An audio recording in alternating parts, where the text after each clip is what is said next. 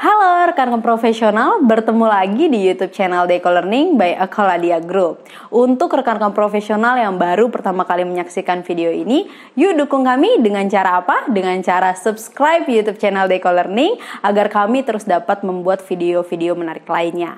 Selamat menyaksikan video ini ya. Hai rekan-rekan profesional, selamat datang kembali di video Dynamic Talk by Deco Learning Akoladia Group. Bersama saya Noviani Widyasari yang akan membawakan sesi pada kali ini.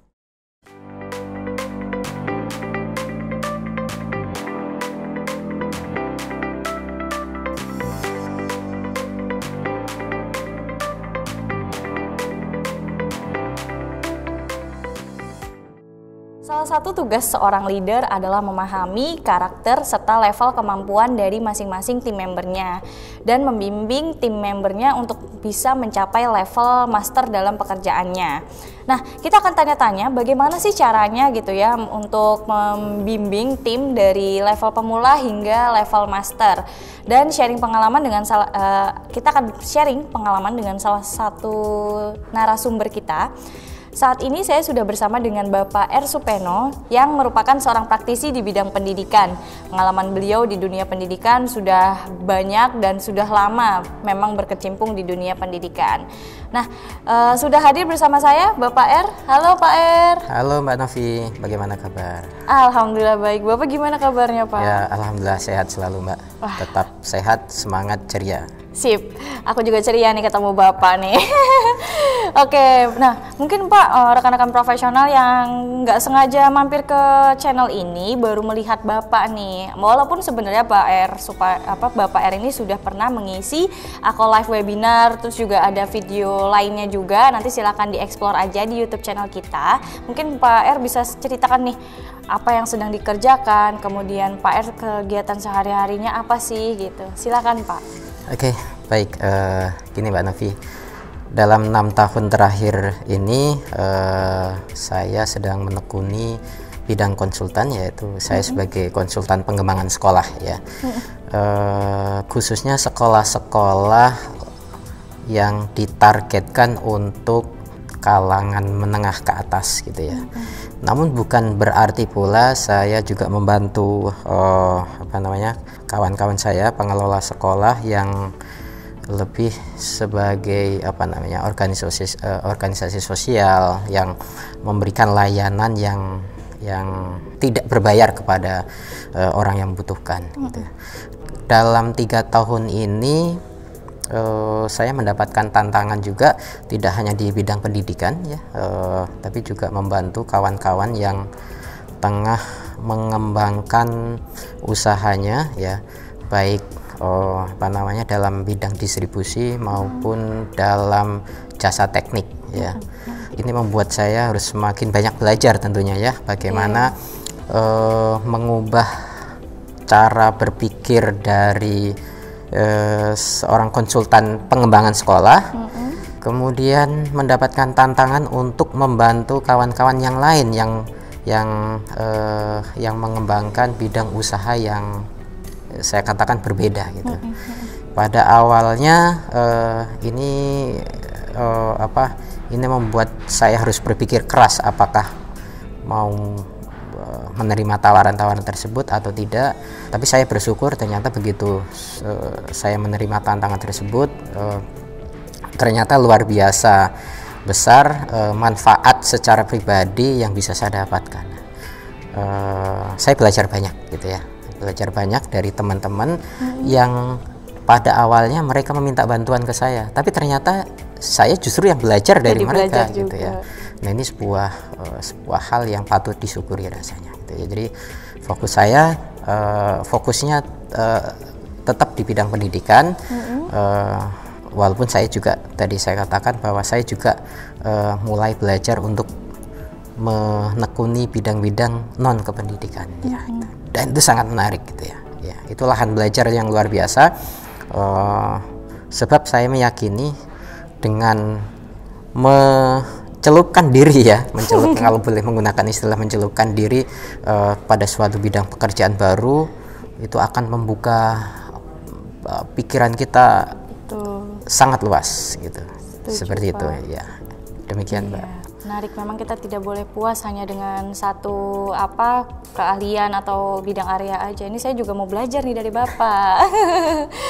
Kalau untuk contoh 5 level dari novice sampai master itu apa aja sih, Pak? Oke. Tadi kan kita bicara empat eh, eh, empat level ya. Iya. Ya, mulai dari unconscious incompetence sampai dengan unconscious uh, competence ya. Eh, ternyata itu belum cukup untuk mendefinisikan level kompetensi, Mbak Novi. Karenanya eh, kemudian perlu kita sambungkan dengan lima level, ya. Kalau tadi empat empat empat empat level tadi eh, tidak sampai pada tataran eh, apa tataran seseorang itu menjadi master. Maka oke eh, dalam pendekatan lain ya eh, kompetensi atau level kompetensi itu dibagi menjadi lima tahap ya.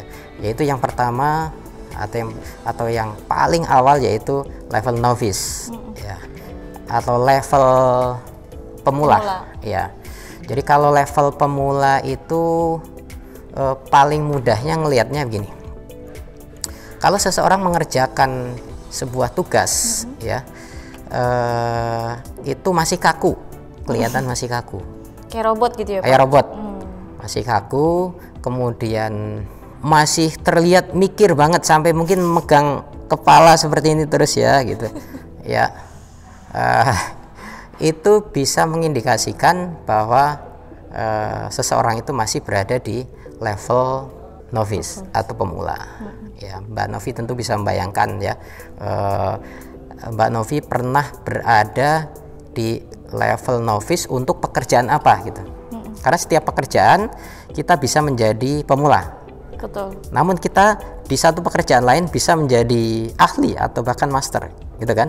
Setelah Tapi kita belajar, iya. gitu. Tentu Mbak Novi merasakan itu ya. Oh, tentu dong, Pak. Ya, oke. Eh, Sekolah aja dari dasar, Pak. Nggak sekolah dari dasar ya, nggak Iya. langsung dari menengah, apalagi ke Iya. atas ya. Oke. Baik, kemudian yang kedua ada level namanya level kompeten, ya, kompeten. Kalau Mbak Novi menemukan eh, istilah kompeten atau competence, apa yang terbayang oleh Mbak Novi? Oh, dia orangnya kompeten loh, gitu. Apa? bisa Iya. dalam hal tersebut misalkan kompetens dalam IT oh ternyata programmer ya iyalah kompeten di situ gitu misalkan Oke, kompeten dalam eh, bidang IT Iya. ya sebagai programmer, programmer yang kompeten gitu. Oke, di level kompeten ini ternyata itu baru level kedua, Mbak. Bayangkan kita mendengar, wah dia kom- sudah kompeten ya gitu ya eh, di, di pekerjaannya. Ternyata itu belum belum eh, puncaknya. belum ada di puncaknya tuh ya. Ya masih harus belajar lagi. Masih harus menemukan eh, tantangan-tantangan atau kesulitan gitu. Nah sebab di level kompeten ya eh, itu ciri-cirinya adalah bahwa seseorang itu sudah bisa menjalankan sebuah pekerjaan ya. Eh, tetapi masih butuh konsentrasi. Eh, mudahnya contohnya begini. Kalau apa Mbak Novi apa namanya misalnya ngetik dengan 10 jari gitu ya. Ya 10 sebelas jari. sih pak biasanya. Iya iya pak. Ya 10 ngetik dengan 10 jari ya pada saat misalnya Mbak Novi sedang ngetik ya menggunakan laptop 10 jari kemudian saya bertanya sesuatu kepada Mbak Novi dan Mbak Novi terhenti artinya menghentikan aktivitasnya sama sekali atau oh, masih berpikir artinya eh, kalau dalam level ini disebut level competence. Masih mikir beda dengan kalau yang oh ya PR eh, tapi masih ngetik kan? ya sambil ngetik. Nah itu levelnya bukan level kompeten. Jadi kalau kita melihat orang yang sudah melakukan pekerjaan dengan secara santai sebenarnya dia tidak berada di level kompeten tapi di atasnya.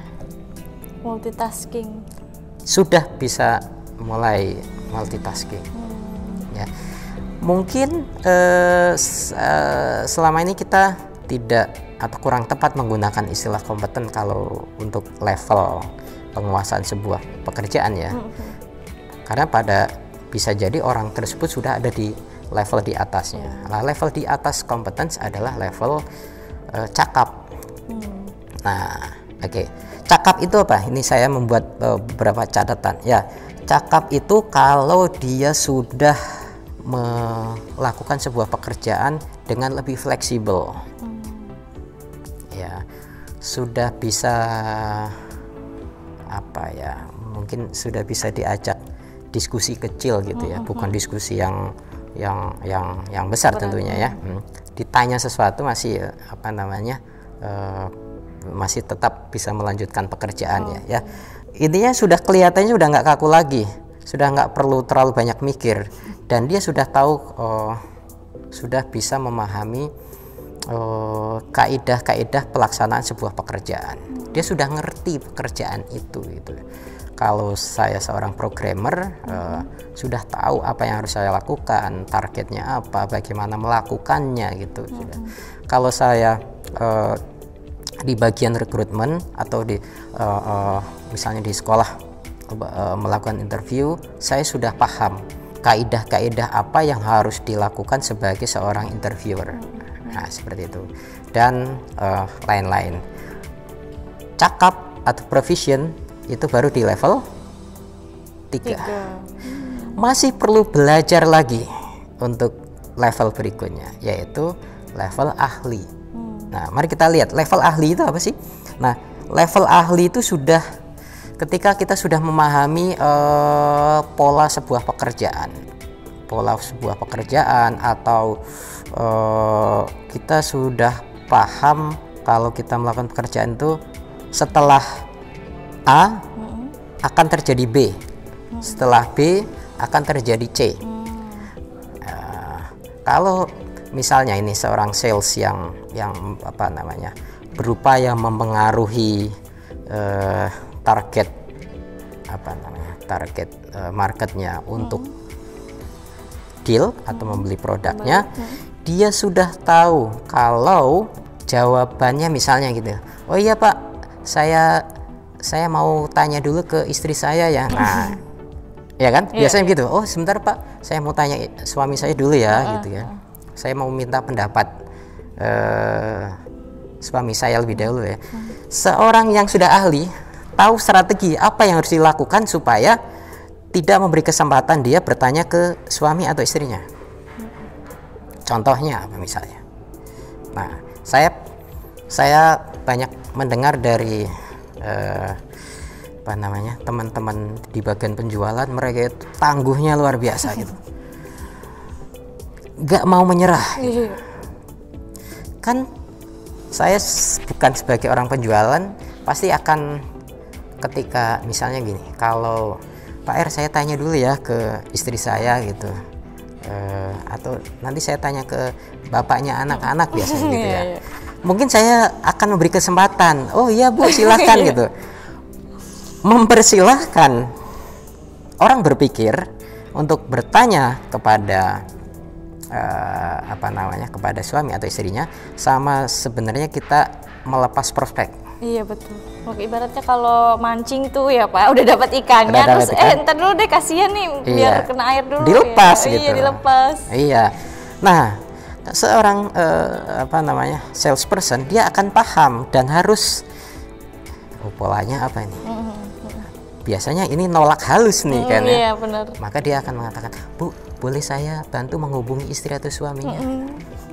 seperti itu luar biasa kan Iya, atau promonya cuma berlaku hari ini loh, nggak ada kesempatan iya, lagi. Kalau besok udah hilang. Kalau besok sudah hilang, itu pun mungkin banyak akan yang uh, uh, apa namanya akan mengelak ya. Iya hmm. pak, saya tanya uh, istri saya atau suami saya tapi begitu ditodong eh, misalnya contoh ya tidak selalu berhasil ya iya. karena kan situasinya juga berbeda hmm. disampaikan bu boleh minta nomor suaminya nanti saya ngubungin hmm. gitu nanti saya menjelaskan apa kira-kira reaksi Mbak Novi kalau saya uh, apa namanya sampaikan gini Mbak Novi boleh saya minta nomor uh, apa namanya nomor suami Mbak Novi nanti saya yang bantu menjelaskan gitu gimana Mbak Novi? Pasti kan rada mati kutu kan? Iya, kawan.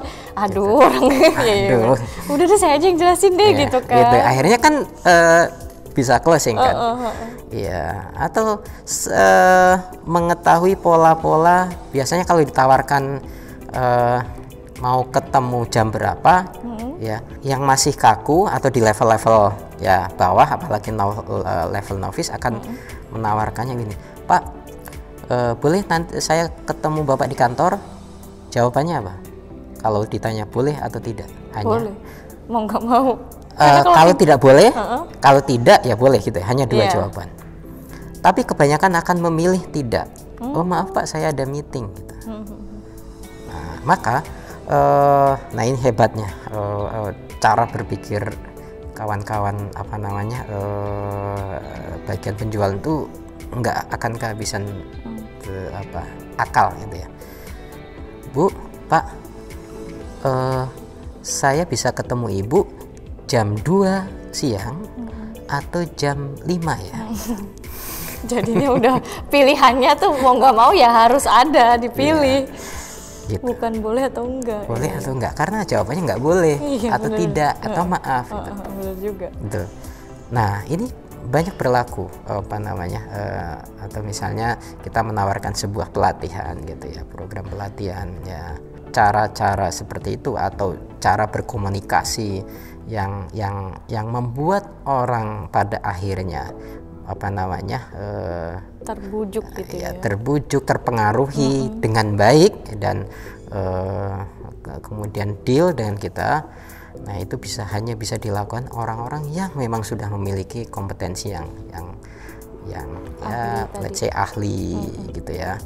Eh, tergantung dari apa namanya te- tentu ter- tergantung dari target market dan Iya. dan produk atau jasa yang kita Tawarkan. ya, tawarkan ya. Semakin mahal berarti kita semakin eh, apa namanya butuh level tidak hanya ahli tapi juga master ya. Master mastery dalam me- membuat orang eh, mengiyakan gitu.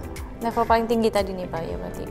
itu ya kalau level level level paling tingginya yaitu mastery ya. Eh, kalau mastery ini ya tadi sudah sudah sudah di atas pasti sudah di atasnya ahli ya. Nah kalau misalnya kalau eh, mastery ini ya itu sudah seperti orang yang otomatis kayak sudah nggak mikir lagi.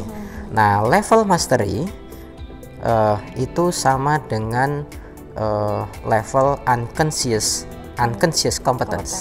Yaitu kompetensi yang tidak disadari. Sudah mengalir gitu saja sebab latihan-latihan yang banyak ya. Sering sudah sering berlatih. Jadi kalau kita mau menjadi ahli mau menjadi master maka banyak berlatih. Tidak ada cara instan sekali lagi. Semua harus eh, bertumbuh melalui eh, proses belajar. Nah bahwa kemudian bahwa level mastery ini eh, ya cara menumbuhkannya ya kalau model pengembangan diri ya tetap perlu pelatihan ya. Latihan secara apa namanya penguasaan teorinya gitu ya sebagai penguatan. Kemudian juga belajar dari orang yang yang sudah eh, menguasai lebih dahulu. Dan dan dan eh, yang paling terbesar adalah eh, dicemplungkan ke dalam masalah. Iya, gitu ya. Gitu. Seperti itu mbak. Jadi saya rasa ini ini ini perlu dipahami oleh eh, semua orang yang ingin menghadirkan value atau memberikan manfaat besar kepada organisasi atau eh, orang lain. Seperti itu. Nah Pak sebelum kita ke pertanyaan selanjutnya, saya ingin mengingatkan kembali nih kepada Ya. rekan-rekan yang belum subscribe YouTube channel Deco Learning, jangan lupa untuk klik tombol subscribe dan juga nyalakan lonceng notifikasinya supaya tidak ketinggalan update-update video terbaru dari kami dan juga acara-acara yang diadakan oleh Deco Learning ya. Dan jika Anda menyukai video ini, silakan klik tombol like-nya. Dan jika ada pertanyaan nih eh, yang ingin ditanyakan kepada Pak R, silakan diklik, eh, diketik aja di tombol kolom eh, di kolom komentar yang ada di bawah. Oke, kita lanjut lagi nih Pak ya. Ya. Nah, Pak, kalau kita sedang menangani project nih, adakah kriteria untuk menentukan tim member dengan kompetensi tertentu hmm. atau sudah mencapai tahap tertentu nih supaya suatu pekerjaan kita berhasil, Pak? Oke, kalau bicara tadi ada lima level, hmm. gitu ya.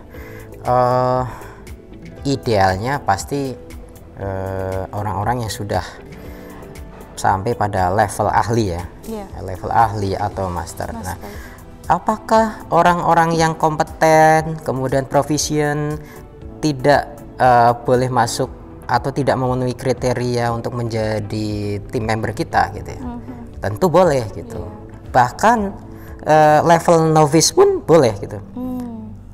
Tapi dengan catatan uh, semakin rendah kompetensinya, semakin besar resiko hmm. yang harus di apa kelola oleh project leader atau project hmm. manager. Ya, uh, tentu kita bisa melibatkan berbagai level, yeah. ya, ya mungkin bisa bisa juga sebuah organisasi itu ya uh, dalam pekerjaan tertentu ada orang yang masih novice ya, hmm. pemula gitu ya. Ada yang sudah sampai pada kompeten sampai dengan uh, ahli atau mastery. Master. Nah, uh, tidak ada yang salah dengan pilihan. Hmm. Ya, tidak ada yang salah dengan memilih anggota tim. Yang ada hanyalah kesiapan mengelola resiko atau konsekuensinya kalau mengel, kalau uh, tim member kita uh, masih berada pada level-level bawah, konsekuensinya adalah kita harus atau leader harus mau dan mampu membelajarkan. Mm-hmm. Ya, tentu kan ini bermanfaat ya. Iya. Tapi resiko yang lain adalah waktu, kualitas. Iya, betul. Nah, tinggal dipilih mana. Uh, kemudian kalau memilih memilih anggota timnya adalah para orang-orang uh, yang memiliki uh, kompetensinya atau levelnya ahli atau mastery tentu berkonsekuensi pada biaya biasanya yeah. kan iya. semakin master kan semakin tentu berkonsekuensi pada apa namanya bagaimana kita misalnya benefit and compensation ya kan yeah, gitu, seperti itu dan pekerjaannya bermutu uh, apa karena kita menghadirkan orang-orang yang yang mampu. Semua ada resikonya. Nah, nah inilah kemampuan mengelola resiko itu juga menjadi salah satu uh, apa uh, kemampuan yang di, harus dimiliki oleh project leader kan, hmm. mengelola resiko. Jadi sekali lagi memilih anggota tim itu apa namanya? Saya katakan uh, mulai dari level 1 kah sampai level 5 itu tidak ada yang salah. Hmm. Ya, yang salah adalah ketika tidak mampu mengelola resiko atau konsekuensi dengan memilih eh, apa orang dari berbagai level tersebut. Nah, tentu kita juga memberikan harus ada dong anggota tim kita yang memang harus dibelajarkan yeah. gitu ya. Itu juga sebuah resiko. Apakah eh, belajarnya eh, memberikan efek mm-hmm. atau tidak seperti itu. Lama atau tidak. Yeah. Itu ya. Jadi mm-hmm. seperti itu, Mbak karena kan mempengaruhi cost juga ya kalau ya mungkin kalau misalkan yang dari level pemula di trainingin supaya bisa sampai ke level master cost ya. lagi waktu lagi gitu ada ya ada cost lagi ya hmm. oke okay. meskipun ada ada juga organisasi yang yang masih bingung hmm. ya kalau saya latih kemudian sudah kompeten sudah ahli kemudian dia lari ke organisasi lain atau bisnis lain gimana pak gitu nah saya cukup mengajukan pertanyaan yang lain yaitu kalau dia tidak dilatih, tidak dibelajarkan dengan baik, tapi masih bersama kita, bagaimana? Hmm. Resiko juga kan. Jadi yeah. semua ada resiko dan resiko harus mampu dikelola dengan baik oleh project manager, hmm. project leader. struggle juga ya pak ya. Oke oke. Wah nggak terasa ternyata tadi itu sudah pertanyaan terakhir. Aku sampai nggak kerasa loh. Ya mungkin uh, sebelum kita tutup sesi kali ini boleh disimpulkan pak dari bagaimana kita mengelola tim dari pemula sampai ke level master. Seorang project leader yang baik ya. Uh, salah satunya adalah mampu membelajarkan ya anggota timnya dari level yang uh, di bawahnya, hmm. kemudian minimal sampai pada level di mana project leader itu berada. Hmm. Oh, akan lebih syukur-syukur dia melebihi ke apa namanya kompetensi yang dimiliki oleh project leader. Hmm. Ya, uh, tentu ini bisa saja menimbulkan kekhawatiran kalau dia lebih pintar dari saya gimana, gitu kan. ya. Uh, project leader yang baik tidak akan berpikir situ. Justru akan senang karena dia dikelilingi oleh orang-orang yang kompeten. Yeah. Gitu, Mbak. Jadi belajar itu menjadi satu hal yang penting bahwa memberikan pengalaman-pengalaman belajar uh, yang banyak uh, dengan apa namanya belajar baik yang terstruktur maupun yang tidak itu akan sangat membantu tim member untuk bertumbuh uh, membantu tim member menjadi lebih pintar. Sebab dengan menjadi pintar, maka project leader akan dikelilingi oleh bersama dia akan ada orang-orang yang memang uh, sangat mampu. Dengan dikelilingi orang-orang yang sangat mampu, ya ini tentunya bisa mendukung pekerjaan atau pencapaian target dengan lebih, lebih. baik. Wah menarik sekali nih Pak pembahasan kita kali ini. Sekali lagi saya mengucapkan terima kasih Pak Er sudah mau hadir di studio kami untuk sharing-sharing dan berbagi pengalaman Bapak yeah. serta tipsnya untuk para rekan-rekan profesional yeah. nih. Saya harus beri eh, terima kasih kepada Mbak Novi dan tim.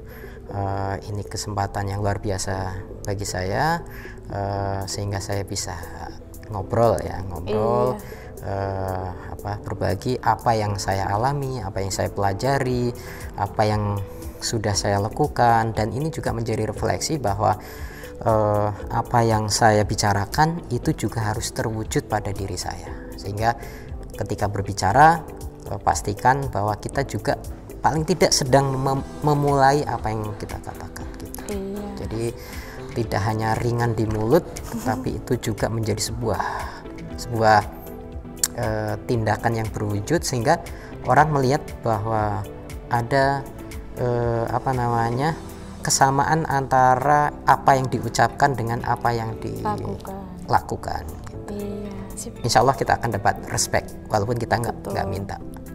Mbak. Betul. Terima kasih, Pak. Sehat-sehat selalu. Sampai jumpa lagi. Terima Nanti kasih. mungkin ke depan kita bisa berbis, uh, berdiskusi kembali dengan topik-topik yang lain ya, Pak ya. Karena ya, pengalaman Bapak kan banyak gitu.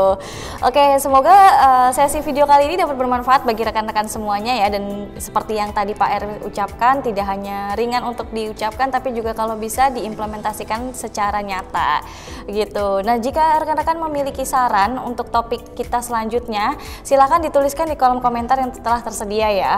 Uh, untuk itu saya dan Pak R dan juga kru yang bertugas uh, pamit undur diri. Sampai jumpa di video kami lainnya. Bye bye. Bye, terima kasih. Halo rekan-rekan profesional, jika Anda menyukai video ini, yuk dukung kami dengan cara subscribe, like, and share video ini. Nah, untuk rekan-rekan profesional juga yang ingin memberikan masukan ataupun saran, langsung saja tulis di kolom komentar di bawah ini. Semoga video ini bermanfaat ya untuk rekan-rekan profesional. Sampai jumpa kembali di video Dynamic Talk berikutnya.